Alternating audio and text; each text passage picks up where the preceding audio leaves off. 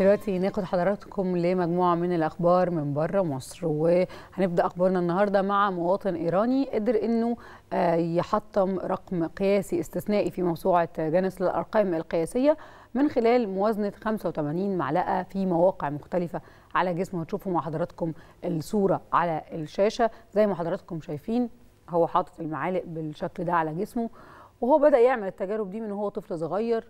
وقال إنه لاحظ إنه موهوب من وهو طفل لكن بعد سنين طويلة قدر إنه يشتغل على الموهبة دي من خلال الممارسة والمواظبة على التمارين ويقدر إنه يحقق بالموهبة دي إنه يدخل موسوعة جنس للارقام القياسية.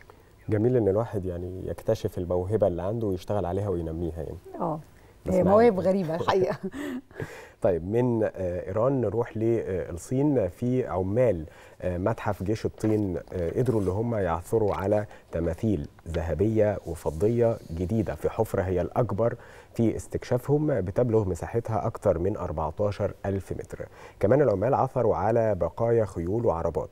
الخبراء قالوا إن القطع دي بتشير للمكانة الكبيرة لصاحب المقبرة دي وبتمكن علماء الآثار من تمكن علماء الآثار من تنظيف التماثيل الذهبية والفضية للخيول لتستعيد شكلها الأصلي ورونقها. علشان الناس اللي ما تعرفش الجيش الطيني هو عبارة عن تماثيل لمحاربين حوالي 7000 تمثال وموجودين في مقبرة الإمبراطور تشي شي هوانج وهو مؤسس أسرة تشين وهو اللي وحد الصين وتم اكتشاف الجيش ده عام 1974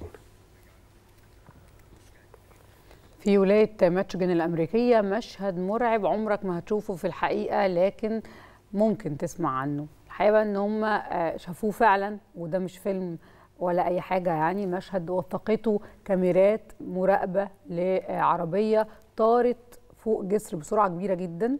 الحادثة دي السواق كان سايق عربيته زي ما حضراتكم شايفين كده على الشاشة وسرح شوية تقريبا. اتفاجئ بقى بالمشهد اللي أنتوا شفتوه دلوقتي حالا. العربية طارت.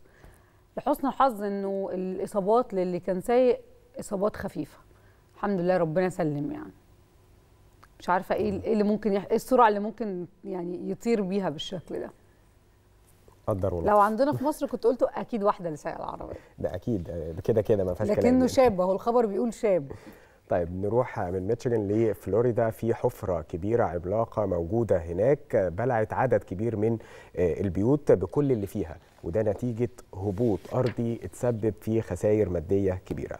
علشان كده السلطات المتخصصة قررت اللي هي تخلي خمس بيوت علشان الموضوع ما يكبرش وتحصل أزمة تانية أكبر من اللي حصلت بسبب الهبوط ده. في مقطع فيديو وثق الموضوع وظهر فيه رجال الحماية المدنية وهم واقفين زي ما إحنا بنتابع دلوقتي على الشاشة واقفين على مكان مرتفع جنب الحفرة في موقع الحدث.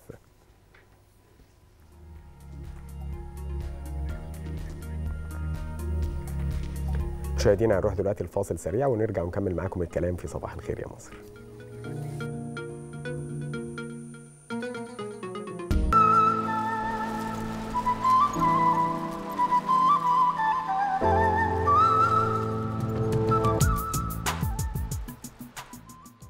مرحب بحضراتكم مرة تانية في صباح الخير يا مصر.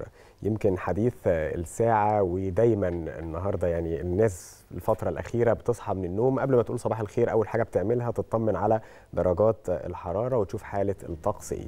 هيئة الأرصاد بتتوقع أن النهاردة في استمرار لانخفاض درجات الحرارة وهيكون الطقس بارد على القاهرة الكبرى والوجه البحري والسواحل الشمالية وشمال الصعيد. ويكون مائل للدفء على جنوب سيناء وسلاسل جبال البحر الأحمر ومعتدل على جنوب الصعيد.